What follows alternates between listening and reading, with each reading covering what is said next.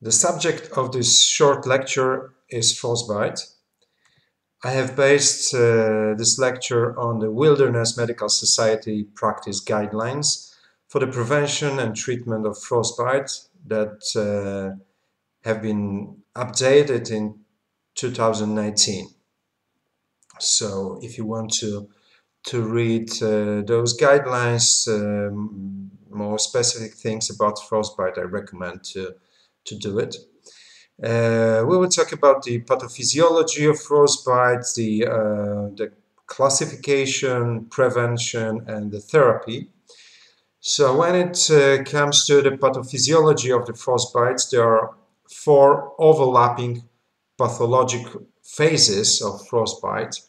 Uh, one of them is pre-freeze, uh, which uh, consists on the vasoconstriction in the area of frostbite and ischemia of tissues. Another phase is freeze-thaw phase, uh, during which uh, the ice crystal formed or within the cells or outside the cells and uh, the formation of ice crystals um, leads to the cell death Another phase is vascular stasis, in which uh, the vessels uh, constrict and dilate and constrict, and the blood may leak from the uh, from the vessels, and also blood coagulates in the vessels.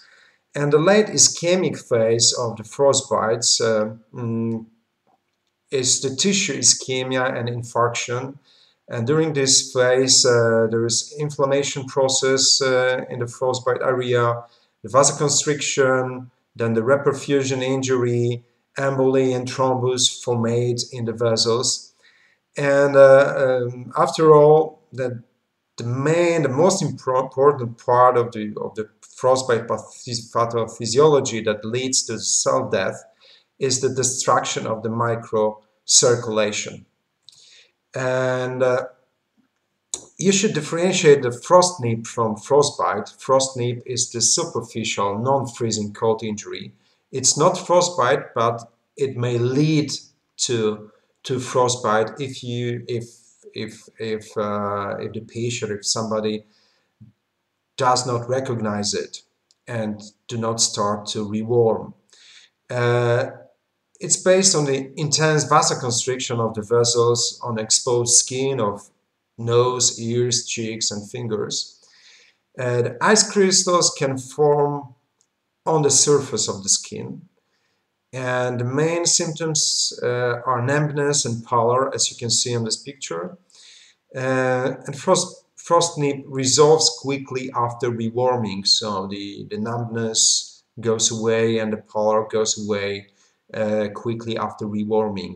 So that would be the sign of frost nip, not frostbite. Uh, the classification of frostbites. So generally you should know that uh, we can classify the degree or grade of frostbite only after rewarming because when the tissue is still frozen it's hard, it's usually pale, it's anesthetic and it's difficult to classify the degree and the, and the grade. And we've got few classifications. The main differentiation is uh, mm, it's like let's say the classifications are similar to to burning injury. So you've got those four degree classification uh, which we would do in the hospital after rewarming and it follows the scheme of, uh, of the depth of the burn. So generally, this four degree classification will tell us what is the depth of the frostbite. And, uh, and in the field, we use two, two degree uh, scale for the field classification. And there is uh, this four, five grades scale used in the hospital called the Cauchy classification, named by the, uh, the, the, the, doctor from Chamonix, from France, who developed this scale. Uh, and this scale corresponds to the, to the scale used for burns for the total surface area. So generally here in this scales, we in this scale we we measure the, uh, the surface of the frostbite. And uh, this five grade scale will give us the information about the extent of frostbite. Uh, and using this scale, we can predict the tissue loss and predict the amputation risk. So uh, to assess the, the degree of the frostbite, we use this four degree scale, thinking about the depth of the frostbite, and this five grade scale, thinking about the area of frostbite. And here we've got a few examples from for this four degree scale. So the first degree is a superficial frostbite. Uh, the main symptoms are the numbness of the area, the erythema, and uh, uh, after some time the white or yellow plaque developed and it might be mild edema around the, the frostbite, but there is no tissue loss caused by this first degree superficial frostbite. The second degree is more deep frostbite, but still superficial. It causes superficial skin vesiculation and uh, after rewarming the clear milky fluid blisters developed and they are around those blisters there is erythema and edema and the depth of this frostbite will not cause the, the loss of the tissue. Uh, more deep and more dangerous frostbite is the third degree. The depth of this, uh, it's, it's deeper. There's the injury of the reticular dermis and the injury is beneath the dermavascular plexus. And uh, after rewarming, the deeper hemorrhagic blisters uh, develop, as you can see on this picture. And the fourth degree, the, the deepest, let's say, frostbite, is when uh, it extends through the complete dermis, then into the subcutaneous tissue, uh, sometimes through the muscles and the bones. That's a four degree depth of the frostbite. Uh, as in the field, it's quite difficult to assess the degree of the, uh, the depth of the frostbite, we can use this two degree scale. Uh, so superficial, uh, superficial frostbite would be the one corresponding to the first and second degree uh, when there is no or, or minimal anticipated tissue loss. And a deep frostbite would be this corresponding to the third and fourth degree frostbite that would suggest that we anticipate tissue loss. So uh, these were the scales in which we assess the depth of the frostbite and now I will present the scale, the Cauchy classification, which tells something about the area of the frostbite. So the first grade is the lesion on the distal phalanx, as you can see on the, on the picture here, on the left side. And the second, uh, second grade uh, is the lesion to the middle phalanx, or the proximal phalanx of the thumb of the big toe. Uh, so more, uh, more proximal injury. The third grade is the lesion to the of the proximal phalanx, so whole fingers are, are let's say, frostbitten. Uh, and in the fourth grade, we've got the lesion to the metacarpal metatarsal uh, area. And then in the fifth grade, we've got lesion of the carpal and tarsal, so more uh, more proximal uh, frostbite. Uh, so that's that that that were the classification of the frostbites. Then uh, the frostbite is is the perfect example of the of the injury that it's better prevented than treated. So here the prevention is better than treatment because uh, frostbite frostbite is quite can be prevented uh, especially um, especially among the climbers there are many uh, many ways that you can prevent frostbite uh, and we should remember that, that the frostbite is often difficult to treat and very often do not improve after treatment so to prevent uh, frostbite the uh, the patient the climber the trekker should ensure the adequate perfusion of the distal parts of the body, of the fingers generally. Uh, remembering that the blood flow delivers heat, so more blood flow uh, more warm will, will be the extremities. As the next thing is to minimize the heat loss, especially from the areas when the heat loss can um, can appear. As you can see on this picture, the faces of two climbers, uh, the nose and the cheeks are protected by the kinesio tape that is used in the in the physiotherapy, but can be also attached to the skin to mm, to add the additional layer that would prevent uh, the direct contact of the cold wind to the face. An important thing is to recognize the cold-induced numbness, so frostnip or first degree frostbite. Uh, to, to react, you have to recognize to start reacting, rewarming. What can be done uh, to maintain a peripheral perfusion? So the, the, there are a few main things. So first of all, the uh, you should maintain a core temperature and body hydration. So here on the picture you can see the climber with the he's drinking the uh, some fluids from the CamelBak. So the hydration of the body that would um, ensure the proper circulation, proper perfusion is the is the important thing. Then uh, you should remember to minimize the effects of uh, diseases like uh, diseases or drugs uh, that would uh, decrease the perfusion. So mm, that would be the important thing. Also, important thing is to minimize the blood flow restrictions. So the boot shouldn't be tied to the put too tight. When you use the crampons, they shouldn't be too too uh, too tight. Then, uh, when you spend time uh, immobilized in the tent, waiting for the good weather, you should also move uh, to um, provide a perfusion to the extremities.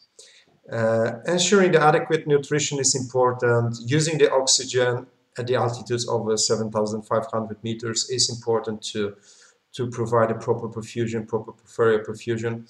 And of course, exercising, movement will give you more heat, will stimulate the peripheral perfusion, but uh, you should be aware of uh, the fact that more exercise is more exhaustion, more exercise needs more energy, so uh, the proper balance uh, should be should be put on the exercise, uh, exercise and movement.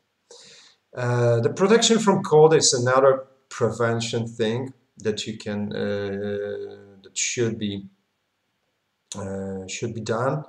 So uh, it's good to avoid environmental conditions with the temperature which are below 15, minus 15 uh, degrees of Celsius, no matter if it's windy or not. Of course, if it's more wind, it's more there's more danger of the frostbite. Uh, so minimizing cold exposure would be the prevention. Then not using alcohol, drugs, or avoiding hypoxemia, like at high altitude, will give you a chance to um, properly react to changing environment.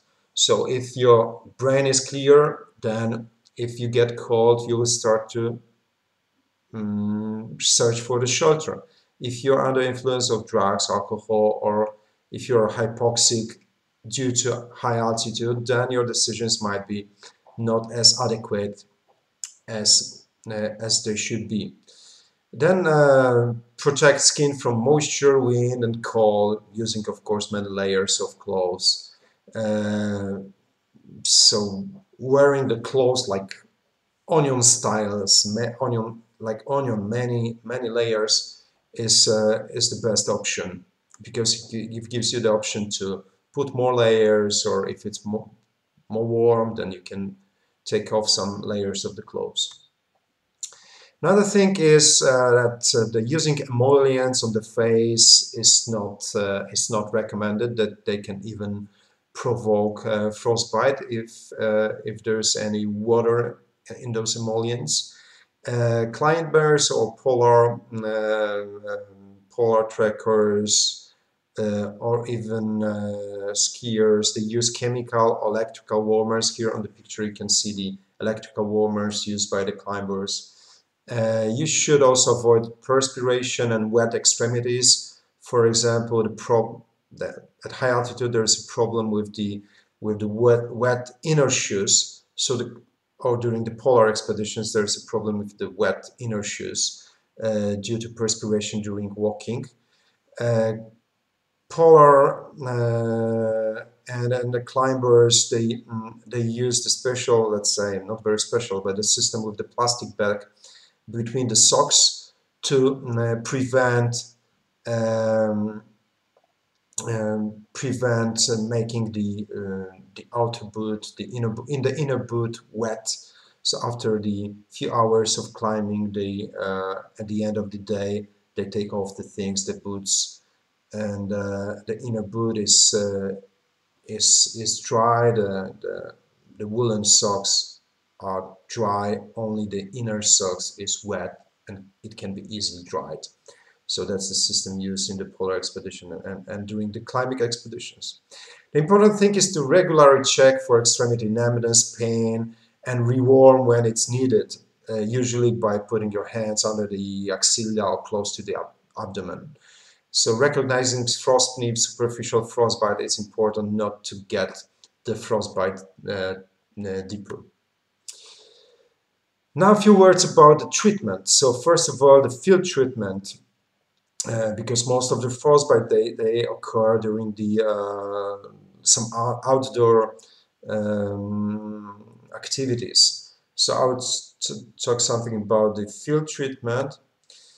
So first of all, when uh, when you've got a frostbite and it and it thawed in the uh, in the outdoor, uh, avoid refreezing because if you refreeze the frostbite, it will be deeper.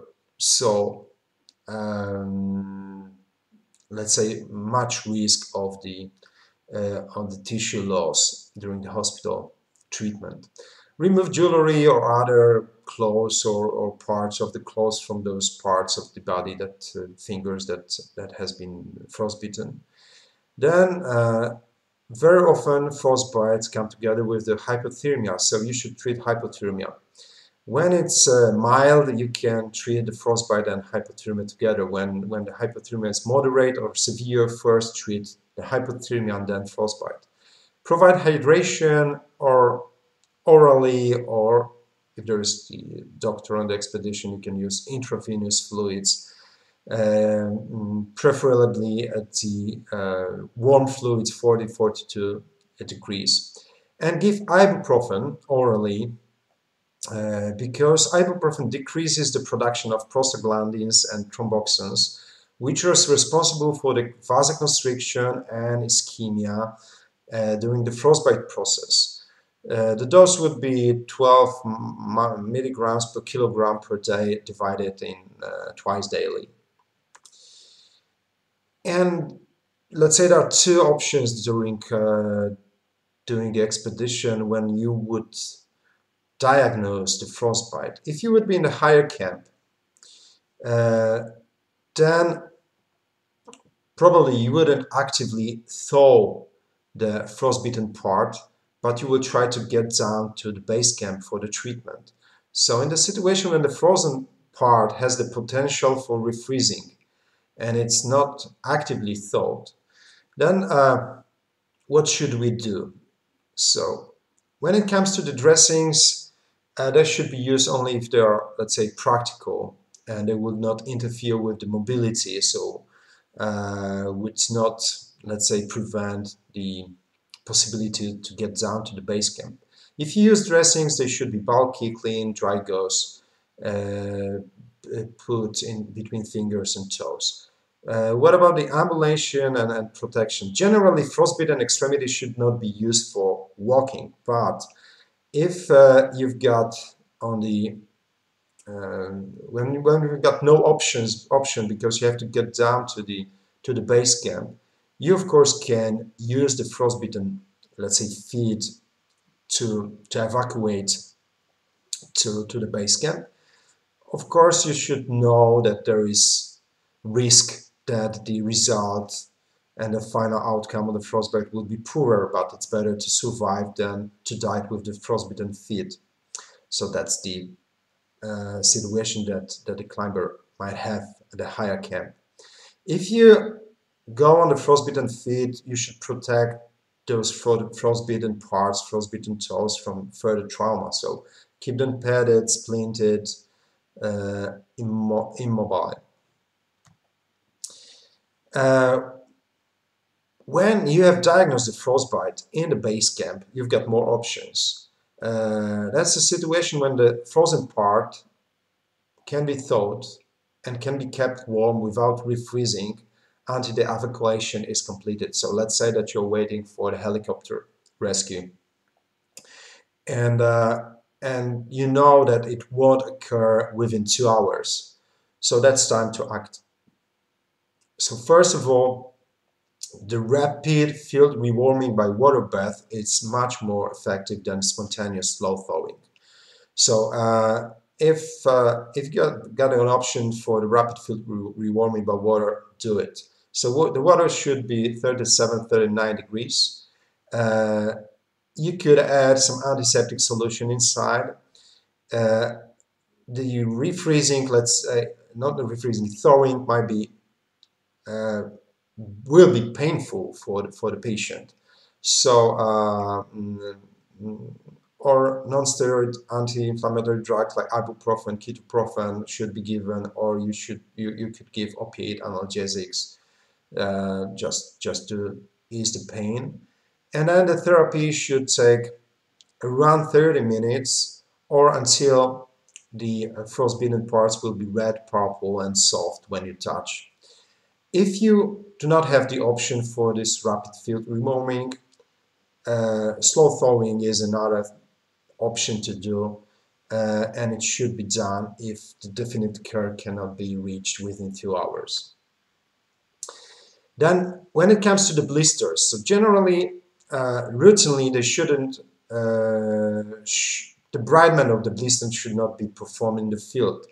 If you've got second degree um, mm, depth of the of the of the uh, of the skin. So you've got those clear fluid-filled blisters, and uh, when they are tense, when they are on the on the feet, when there is a high risk that they will rupture by the, by themselves, uh, you can aspirate the fluids, uh, and that, that's a thing to do. But if there are hemorrhagic bulla, so the third degree uh, frostbite, they shouldn't be debrided or aspirated in the field. Uh, you can see here the topical aloe vera cream um, on the fingers, which are frostbitten. So topical aloe vera, so aloe vera reduces prostaglandin and thromboxane formation. So similar let's say the action that will uh, stop some pathophysiological phases of the frostbite. So the aloe vera should be used on the unroofed blebs under the dressing. The dressing should be bulky, wrapped loosely because uh, we anticipate that edema will develop, so the dressing shouldn't constrict the fingers. Uh, when it comes to ambulation, if you're in the base camp waiting for the rescue, you shouldn't, let's say, walk on the frostbitten uh, feet. You should rather protect them from the trauma. Um, the boots that have been removed uh, before the uh, active rewarming, probably due to edema formation of the uh, of the of the blebs, will not be possible to uh, to redone on the on the feet, frostbitten feet. Uh, if you're in the upper camps and use passive thawing, uh, the good idea would be to keep the inner boots on the feet because if you will take them off, then you might not be able to put them on. So that would be, let's say, mm, very difficult situation if you would need to evacuate. Uh, Elevation of the extremity above the level of the heart would decrease the, um, the, the dependent edema and uh, the oxygen use is recommended if the patient is hypoxic, so the saturation is below 88 or you are at altitude over 4,000 meters, so that's recommended. What are the advantages of the hospital treatment? So the hospital should be um, preferably reached as fast as possible, uh, preferably, uh, let's say, within 12 hours from the thawing. Uh, so the same things in the hospital than in the fields of the treatment of, treatment of the hypothermia, hydration, you can give low molecular weights, dextran, uh, because it decreases the blood viscosity and it prevents red blood cell aggregation and formation of thrombi. So uh, this dextran can be intravenously given if you do not mm, decide for the thrombolysis therapy for the patient. Then rapid rewarming, of course, if uh, if the uh, if there still tissue is frostbitten. When it comes to the management of the blisters, the same as in the field, so you can uh, consider draining those um, clear blisters, but do not touch those hemorrhagic uh, blisters. Uh, topical aloe vera below the dressings. Uh, systemic antibiotic should be used when you've got other significant trauma or signs of symptoms of uh, cellulitis or sepsis but it's not uh, shouldn't be routinely used as a let's say some in prophylactic way. That's it's not recommended.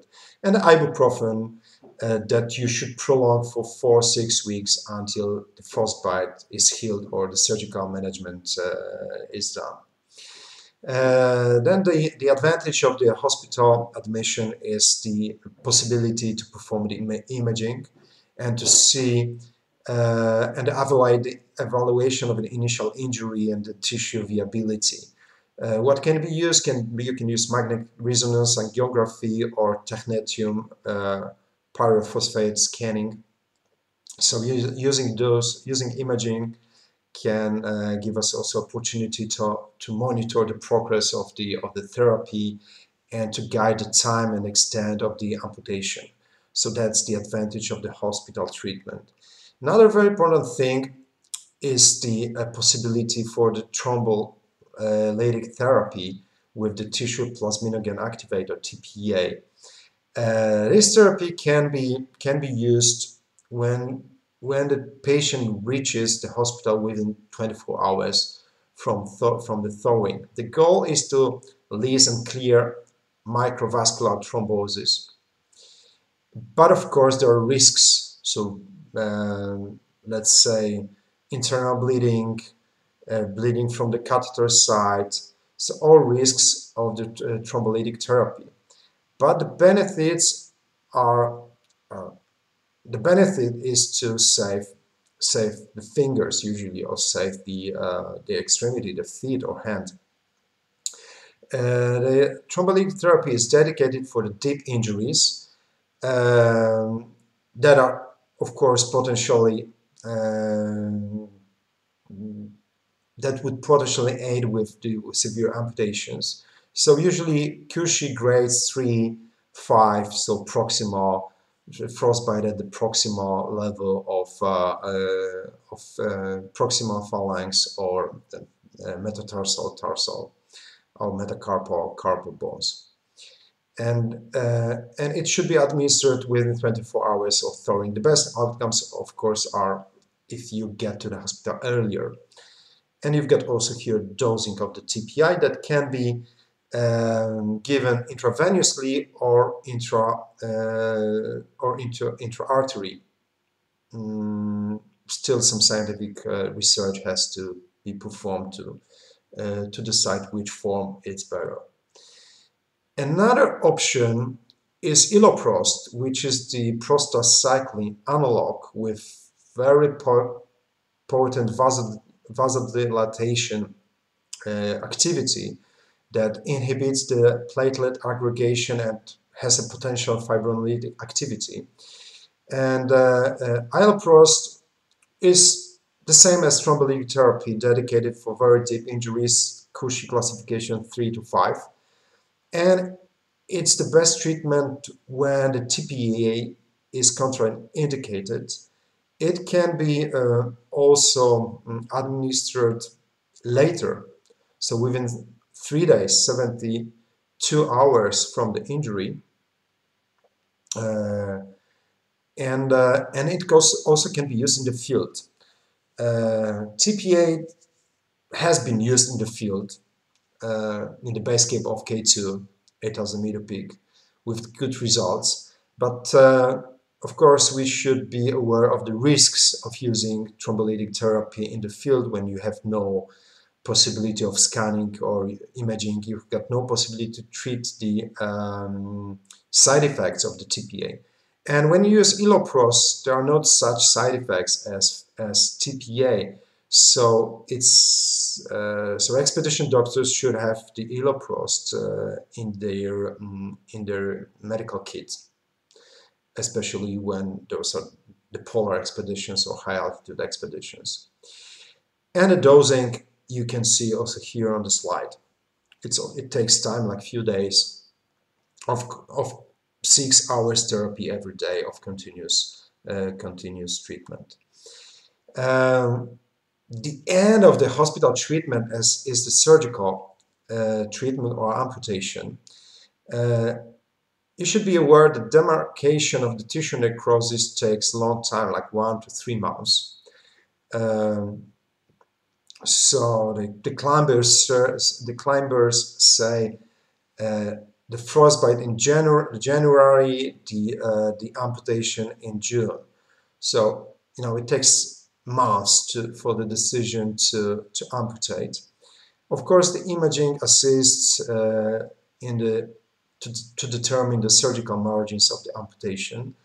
Uh, if there is sepsis, of course, the amputation has to be performed at once. But when there is no sepsis, the amputation should be delayed until definite demarcation occurs, as you can see on this uh, on this slide on the pictures of the uh, there is a feed of the climber that reached Everest, but during the summit push, uh, let's say, has this frostbite injury, which ended with the amputation.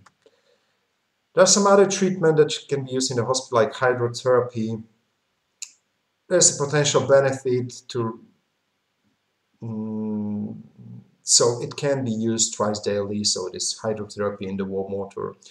Heparin is not recommended as monotherapy. It, it should be added to the TPA uh, and there is insufficient data about the heparin therapy. Hyperbaric oxygen therapy uh, there's insufficient data about this type of therapy uh, but it can be added uh, to to speed up the healing of the of the frostbite tissue. Okay, thank you very much for your attendance. If you've got any questions, you can mail me. Uh, thank you very much.